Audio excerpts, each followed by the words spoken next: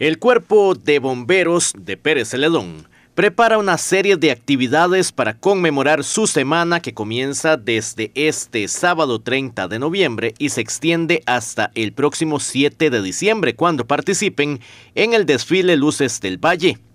Agradecer y poner el trabajo en manos de Dios es primordial para este cuerpo de emergencia muy especial porque se conmemora la Semana del Bombero y eso no es solo en Pérez Celedón, ¿verdad? es a nivel nacional. Todas las estaciones tienen sus actividades propias y lo celebran. En el caso de nosotros, el sábado 30 de noviembre iniciamos con una misa, una misa de acción de gracias eh, a las 6 de la tarde en la catedral.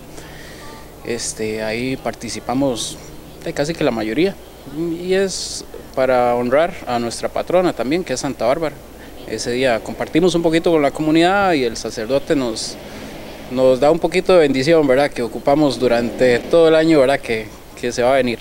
Las personas que les gusta conocer más sobre el cuerpo de bomberos tendrán la oportunidad el miércoles 4 de diciembre en el Parque de San Isidro del General.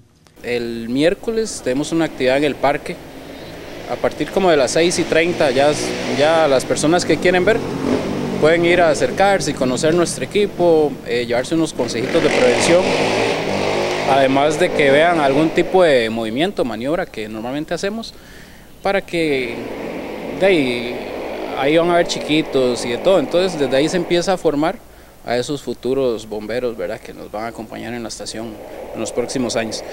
Una semana que tendrá otras actividades que son parte de una celebración que se realiza en todo el país. El sábado 7 con el Festival de las Luces, que este año de igual forma eh, la compañía de bomberos voluntarios está trabajando ahí en, llevarles otra vez una sorpresita para que la gente disfrute con nosotros, ¿verdad? Y básicamente ahí cierra la, Semana del Bombero. De nosotros es, es el orgullo, eh, un duro año de, trabajo y, es como la semana que, que, sacamos un ratito para nosotros, para compartir más, eh, crear un poco más de, de, vínculo ¿verdad? entre los mismos compañeros y, así ayuda a, formar más unión en el grupo.